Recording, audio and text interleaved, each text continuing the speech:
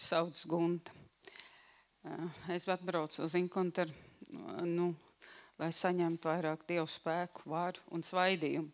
Un lai vi, Dievs man, es lūdzu Dievam, lai viņš paņem no manis projām to, kas vēl traucē viņam iet tuvāk.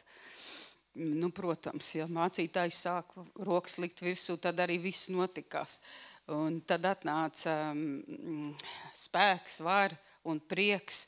Un, un, ja man būtu jāiet evanģelizēt, noteikti tas varētu veselu ciemu noevanģelizēt, jo Dievs tiešām deva tādu spēku un, un, un brīvību. Arī es lūdzu par tādu brīvību, un arī to viņš man deva.